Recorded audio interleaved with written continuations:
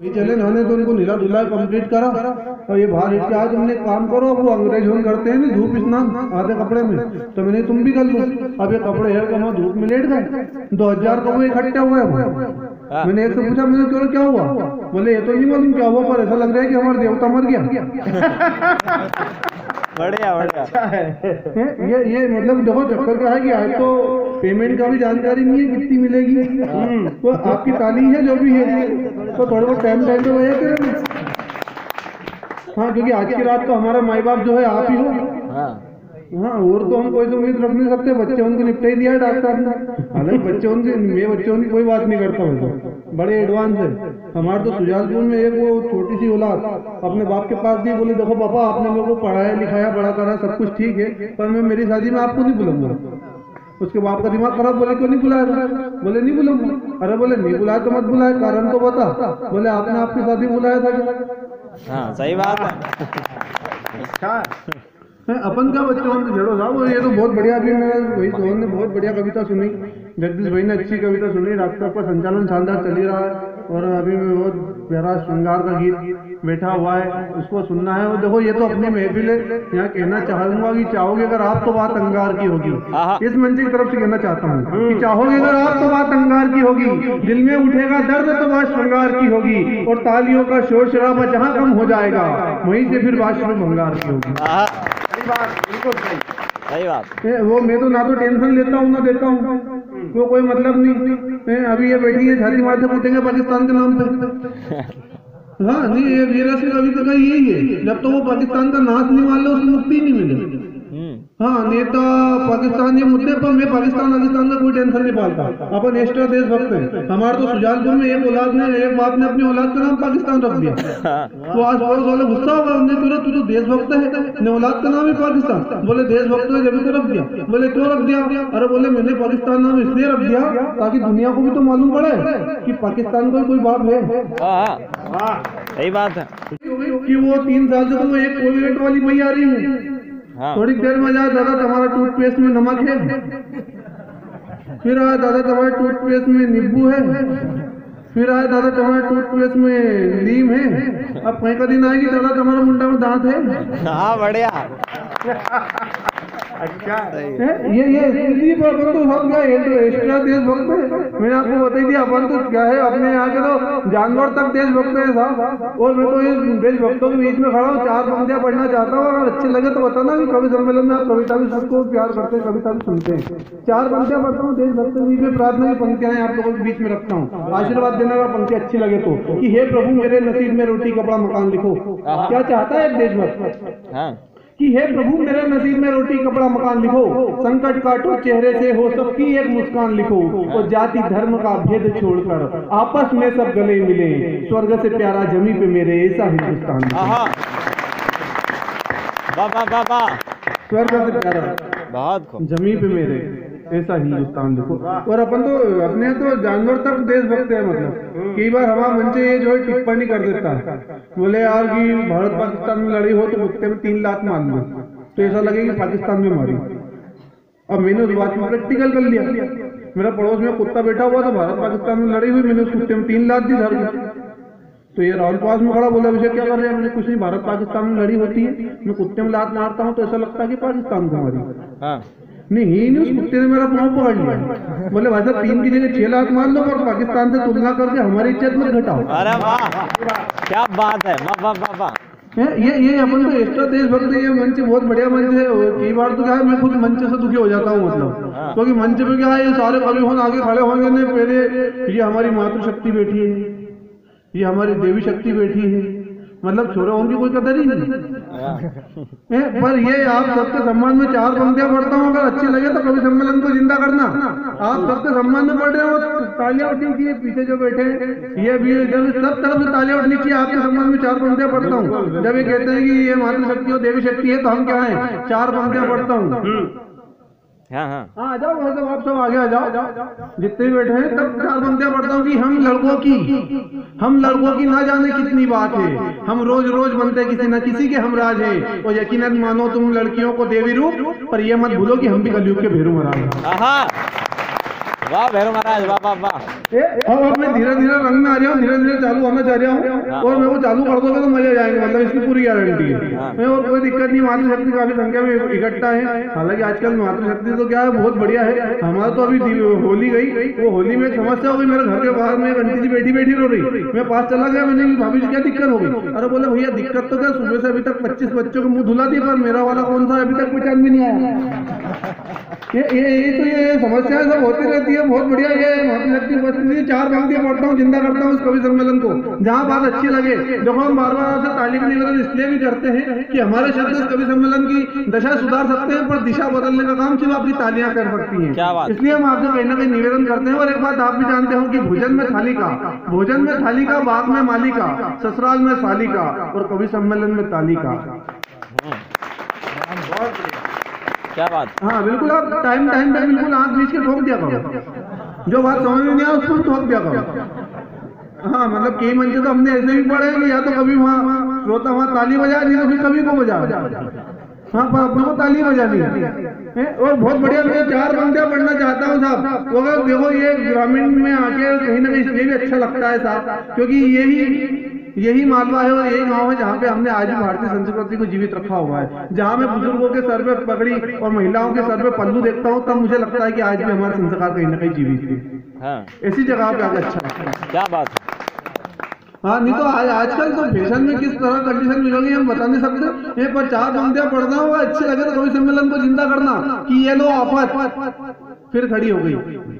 ये लो आफत फिर खड़ी हो गई। मोहल्ले में लड़की बड़ी हो गई। हाँ ये नो आफत। फिर खड़ी हो गई। मोहल्ले में लड़की बड़ी हो गई। और अब तो दिन भर घूमते रहते हैं कुछ लफंगे जैसे लड़की कोई फुलझड़ी हो गई। हाँ हाँ बहुत कम। ये पर जब इस तरह का कहीं ना कहीं माहौल बनता है साहब तब कहीं ना कहीं शर्मिंदगी हमें महसूस होती है। हाँ। जिस देश में हम देवी के रूप में नारियों को पूछते हैं उस देश में अगर फुलझड़ी फटाके के रूप में देखने लगते हैं देवी रूप नारियों का है पर आज उन पे आतंक अत्याचारियों का है और भगवान से सब बेटी नहीं बेटा मांगते हैं क्योंकि देश में बढ़ रहे अपराधों को जानते हैं। हाँ हाँ क्योंकि देश में बढ़ रहे अपराधों को जानते हैं। ये ये तरह से कई सारी समस्या आती रहती है। और उसमें कोई दिक्कत नहीं है। आज तो बहुत बढ़िया माता रानी का पंडाल लगा हुआ है। मेरे हिसाब से यहाँ कोई पीने वीने वाला तो होगा नहीं। हालाँकि गुजर के गाँव के हो तो होंगे बहुत सारे, पर आज नहीं पियोगी हाँ नहीं अपने को सारी जानकारी। और हालाँकि पीने के बाद की जो मस्ती होती है उसका तोड़ ही अलग होता था हमारा तो शुजालपुर में एक आदमी ने पाँच सात पेक लगा लिए चौथी मंजिल पे चढ़ गया। और वो जो हवा का झोंका आया तो वहीं से धड़ाम तरीके से नीचे गिर गया। हाँ। वो नीचे आया तो पाँच दस जने इकट्ठे हो गए बोले भाई साहब क्या हुआ? भाई साहब क्या हुआ? भाई साहब क्या हुआ? बोले मेरे को क्या मालूम क्या हुआ? मैं भी अभी हाल ही नीचे आया। बढ़िया बढ़िया। ये मतलब ये स्थिति कई तरह से निर्मित हो जाती है। एक बार तीन दोस्तों बैठ के पी रहा, उसमें एक के मोबाइल में फ़ोन आ गया। बोले, हेलो, क्या आपकी उसका फ़ोन आ गया उसके घर वाले क्या बोले, यार, जानू, ये साड़ी पसंद आ रही, खरीद लूँ क्या? बोले, एक छोड़ तीन खरीद। उसने आई लव यू के फ़ोन रख दिया? उसके दोस्त ने उससे पूछा नहीं क्यों रे तू तेरी घरवाली से इतना प्यार करता है? अरे बोले घरवाली की भाड़ में पहले ये बता मोबाइल किसका? है? हाँ। बढ़िया बढ़िया बढ़िया। ये ये ये पीने के बाद कई सारे उपकरण होते रहते हैं पर अपन तो क्या है बहुत बड़े भोले भाले सीधे साधे लोग ज़्यादा माथा बोड़ी करते नहीं टेंशन लेते नहीं है। अब ये मेरा राहुल भाई ये तीन दिन से टेंशन में बैठा हुआ था बोले अभी तक शादी नहीं हो रही मेरी नहीं हो रही तो कल ले बोले चोरी नहीं मिल रही। हाँ। तो मैंने कहा यार चोरी नहीं मिल रही तो काम कर पेपर में टू टाइप दे दे। ए, भोले आदमी ने अगले दिन पेपर में टू टाइप दे दिया बीबी चाहिए। पचास जने के फ़ोन आ गए। बोले मेरी ले जा। बढ़िया है घर वाले से तो हाँ सही बात है। पर वो मैं मैं तो भैया क्लियर कहता हूँ जितना चाहो प्रेम कर लो पर शादी मत करो। हाँ। हाँ क्योंकि चार बंदे पढ़ता हूँ सिद्ध करता हूँ अगर पंक्ति अच्छी लगे तो उठाना आसमान। शादी क्यों नहीं करना? प्रेम खूब करो शादी मत करो। क्योंकि अब ये देखो आप, क्या मुस्कान है चेहरे ये मतलब शादी की बात करते ही हो जाता है। पर कई सारा दुखी भी है, एक बार डॉक्टर मेरे साथ उज्जैन गए, हम वहाँ गए तो एक बाबा जी के पास जाके खड़े हो गए। बोले बाबा जी घर वाले से दुखी हूँ कोई इलाज हो तो बताओ। इनकी बात सुन के बाबा जी को रोना आ गया। बोले, इलाज होता तो मैं बाबा जी थोड़ी बनता। सही बात है। मतलब पर ऐसा नहीं है सबके सब घरवाली से दुखी है। कई सारे ऐसे भी हैं जो घरवाली को प्यार भी करते हैं। हमारे तो सुजालपुर में वो एक बार एक आदमी की घरवाली मर गई। तो वो घर के बाहर बैठा बैठा रो गया। तो वहाँ आदमी उनका दिमाग खराब, बोले कि एक बात बता, जब तेरा बाप मरा, तू इतना नहीं रोया? तेरी माँ मरी, तू इतना नहीं रोया? अब पाए रो रहा बोले, देखो, जब मेरा बाप मरा तो पाँच दस आदमी हो ना कि बेटा रोए मत, हमें तो सही। जब मेरी माँ मरी तो पाँच दस बेटा हो ना कि बेटा रोए मत है हमें तो सही। पर जब मेरी घरवाली मरी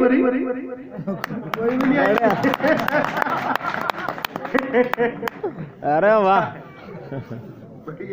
ये मतलब पर मैं, मैं तो आपको बता रहा था कि आप जितना चाहे प्रेम करो पर शादी मत करो। और क्यों नहीं करनी चाहिए शादी? ज़्यादा चार पंक्तियाँ सुनना। कि प्यार में मुलाकात अच्छी से लगती है प्रेमिका की हर बात अच्छी से लगती है पर अगर वही प्यार शादी में परिवर्तन हो जाए तो पत्नी विश्व सुंदरी भी हो क्या मक्खी से लगती है। क्या बात सही बात है। ये ताली उन्नीस बजे जिनकी हो गई। हाँ मतलब एक तुम्हारे क्या है? जिसको अनुभव हो वही उसको ही मालूम हो तो वही बजाएगा सही हाँ नहीं पर बहुत बढ़िया अपन तो देखो भोले भाले सीधे साधे लोग। हैं, दादा की उपस्थिति को प्रणाम कर ही दिया हूँ। पर अपन तो मतलब बहुत ज़्यादा सीधे साधे अभी हाल में एक बस में आया भाई साहब तो उस बस में क्या है कि एक धोखेबाजी बैठे हुए सीट पे। अब एक आदमी उनके पास खड़ा होकर बीड़ी धुनक रहा अब वो बीड़ी धुनक रहा तो बीड़ी का क्या गुलगुल खिर गया होगा तो दादा की धोती में टोकला हो गया। दादा ने घूर के देखा उसको। तो छोरे का दिमाग खराब बोले यार डोकरा माथे नहीं जा। बोले दादा वो बासा गलती हो गई मैंने ऐसे सोचो नहीं थो वो गलती से गिर गया। तो बासा ने कहा, ठीक है बेटा कोई बात नहीं। तो आदमी को लगा कि यार ये डोकरा अच्छा है ऐसे व्यवहार बनाना चाहिए। वो उसके पास जाके बैठ गया बोले बासा आप काका गाँव का हो। तो बोले मरे खाया आप गाँव जला बात। पर ये ये सारी मस्तियाँ हैं आनंद। हाँ। पुश्तैनी हवेली जहाँ थी वो जमी सुहानी लगती है। हाँ। दादी की मुँह की बातें अब ताजी कहानी लगती है। वो हाँ। लड़ खड़ा के जिस आँगन में गुजारा था मैंने वो बचपन उस बचपन के आगे अब ये फीकी जवानी लगती है। तो जैसा मेरे भाई ने बताया कि आपके यहाँ से दस नौजवान निकल के गए हैं सीमा पर आर्मी में।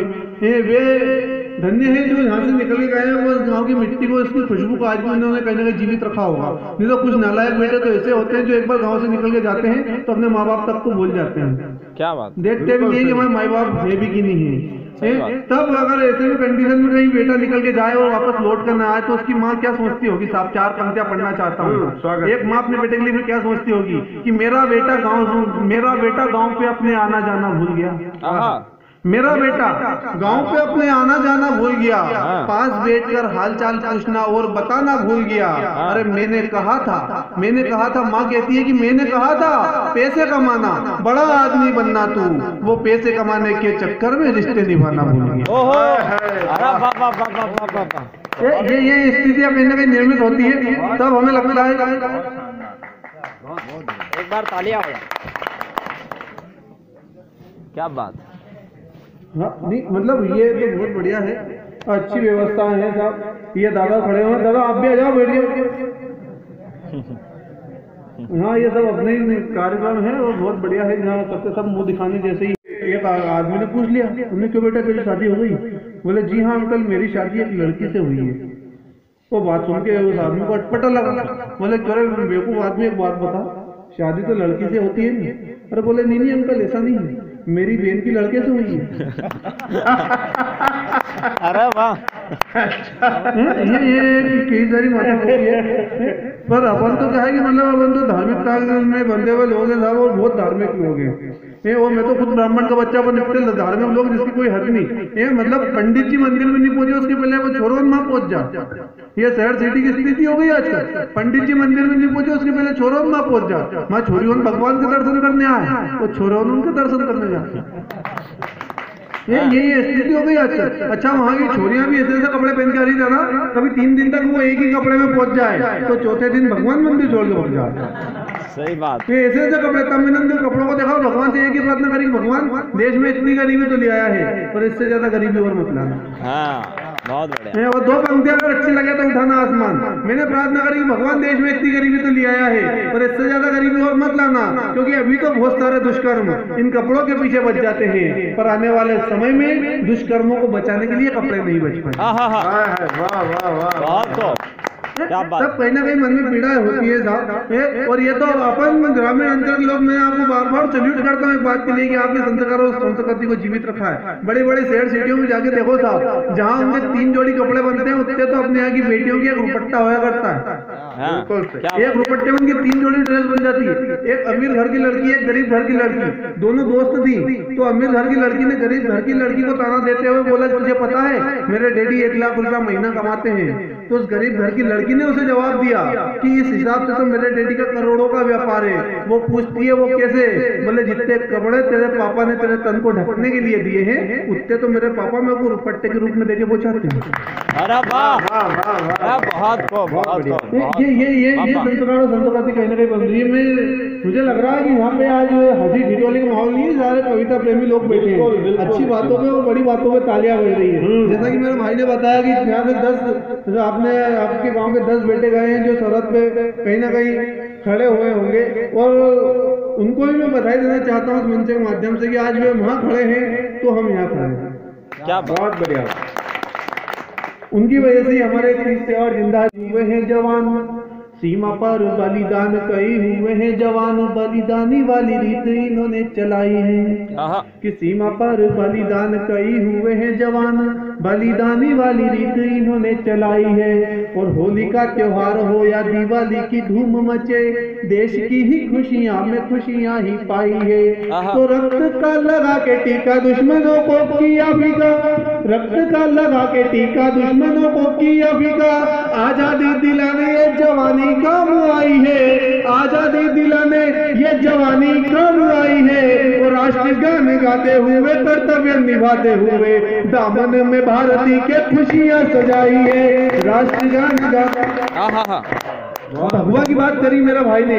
ये देश की आन बान शान है साहब इसे कहीं ना कहीं जीवित और ज़िंदा रहना चाहिए। तब चार पंक्तियाँ पढ़ता हूँ इन नौजवानों के लिए क्योंकि यही हमारा कल का भविष्य है कि एक हाथ धर्म ध्वजा दूजे हाथ हो तिरंगा। मर मिटे देश पे जवानी ऐसी चाहिए। ये मात भारती हमसे क्या चाहती है साहब? और हम क्या हैं? हम इस मात भारती के बेटे हैं। मुझे पता नहीं है यहाँ मुस्लिम परिवार रहते हैं कि नहीं रहते हैं। आजकल कंडीशन ये हो गई कि हिंदू, मुस्लिम देख के आपस में जानी दुश्मन, कट्टर दुश्मन समझते हैं, आपस में एक दूसरे को। ये वो देश है जिस देश में इस हिंदुस्तान ने doctor A P J Abdul Kalam को राष्ट्रपति बनाया है। क्या बात है, बहुत को ये वो देश है जहाँ 125 करोड़ में 100 करोड़ की संख्या हम हिंदुओं की है। उसके बाद भी एक मुसलमान को हम वहाँ बिठाते हैं, उसको राष्ट्रपति बनाते हैं। क्या हम हिंदू और मुस्लिम होकर लड़ सकते हैं? ये सिर्फ़ वोट बैंक की राजनीति होती है साहब, जो लड़ाने का काम करती है। ये जमी ये देश तो वो है जिसके बारे में मैंने कहीं ना कहीं लिखा था कि मंदिर में आरती सजी मस्जिद में अजान मंदिर में आरती सजी मस्जिद में अजान घर घर में रखे मिलेंगे गीता और कुरान। देखना है कर वतन को अपने, खुद के अंदर झाँक के देखो। हर एक दिल में सजा मिलेगा अपना हिंदू हर एक दिन में सजा मिलेगा। ये क्या परिपाटी थी? हम कहाँ चले थे? कहाँ आ गए? पहले वो जमाना हुआ करता था कि ईश्वर अल्लाह नाम पुकारे अगर आप सब कविता के शौकीन हैं तो शुद्ध कविता पढ़ूँगा एक भी ठिठोली नहीं करूँगा आशीर्वाद आपका मिलना चाहिए था। तब पंक्तियाँ पढ़ता हूँ हम कहाँ से शुरू हुए थे? क्या थे हम लोग? कि ईश्वर अल्लाह नाम पुकारे राम रहीम से मिलता था। हाँ। ईश्वर अल्लाह नाम पुकारे राम रहीम से मिलता था। सीमा को घर आता देख सलमा को घर आता देख चेहरा सीमा का खिलता था। हम थे बाबा अजमेरी को जाकर शीश झुकाते थे। अजमेर ख्वाजा शरीफ उनकी दरगाह पे आज भी हम जाते हैं शीश झुकाते तब पंक्तियाँ पढ़ता हूँ कि हम थे बाबा अजमेरी को जाकर शीश झुकाते थे। अमरनाथ के यात्रियों को वे खाना खिलवाते थे। ये वही जमी है वही देश है वही ये हिंदुस्तान है। जाति धर्म में हम तुम बढ़ गए बचा कहाँ इंसान? जाति धर्म में हम तुम बढ़ गए। बचा कहा इंसान और दो पंक्तियाँ पढ़ता हूँ कि वतन के खातिर जान दे गए, वे भी एक मुसलमान थे। आतंकवादी शब्द लगा देते हैं, मुसलमान के पीछे तब कहना चाहता हूँ कि वतन के खातिर जान दे गए, वे भी एक मुसलमान थे। रामेश्वर की गोद में जन्मे डॉक्टर अब्दुल कलाम। वाह वाह वाह। ये तब इस संस्कृति को हमें कहीं ना कहीं जीवित रखना चाहते हैं। ये मात भारती माँ हमसे क्या चाहती है? तब पंक्तियाँ पढ़ता हूँ कि एक हाथ धर्म ध्वजा दूजे हाथ हो तिरंगा। मर मीठे देश पे जवानी ऐसी चाहिए कि एक हाथ धर्म ध्वजा दूजे हाथ हो तिरंगा। मर मीठे देश पे जवानी ऐसी चाहिए और पन्ने पन्ने बलिदानी वाली गाथा से भरे हो। पढ़ने को वीरों की कहानी ऐसी चाहिए पढ़ने को वीरों की कहानी ऐसी चाहिए तो देश को बचाने हेतु तन को मिटाने वाली देश को बचाने हेतु तन को मिटाने वाली लक्ष्मी बाई के जैसी दीवानी अब चाहिए लक्ष्मी बाई के जैसी दीवानी अब चाहिए और शेखर सुभाष की धरा है मेरे यारो यहाँ शेखर सुभाष की धरा है मेरे यारो यहाँ राष्ट्रभक्ति हर दिल में समानी चाहिए वाह शेखर को पढ़ाना और बेटी को विदाना जैसे बेटे को पढ़ाना और बेटी को विदाना जैसे कहो कौन उनके ये सपने सजाएगा? अरे माता बीमारी में गिरी बिना दवाई के मरी कहो कौन जान अब उसकी लौटाएगा? माता बीमारी में ए, और जब कुछ सत्ता के समर्थन अगर इन लोगों के साथ इंसाफ नहीं कर सकते साहब तब कहीं ना कहीं मन में क्रोध की ज्वाला भड़कती है। तब मैं कुछ पंक्तियाँ आप लोगों के बीच में देना चाहता हूँ कि उगा के जो देता अन्न भंग कर अंग अंग कुर्सी वालों ध्यान जरा उन पे लगाइए। अरे फाड़ के धरा की कोक उगा ताजो अन्य भोग सूली पे लटकने से उनको बचाइए। सूली पे लटकने से उनको बचाइए। तो प्रकृति ने दिए घाव समय ने फिर पाऊँ। संकट के बादलों को कुछ तो हटाइए। अरे आश का विनाश आश का विनाश। घर किसानों की हो जाए तो सत्ताधारी सत्ता छोड़ हरिद्वार जाइए। आश का है कि सरहदों पे सैनिकों की लाश सस्ती देखकर। सरहदों पे सैनिकों की लाश सस्ती देखकर खून में संकर कलम तलवार बनती क्यों नहीं? ओहो हो। सरहदों पे सैनिकों की लाश सस्ती देखकर खून में संकर कलम तलवार बनती क्यों नहीं? और कब तलक जुल्फों के जंगल में घूमेगी शायरी?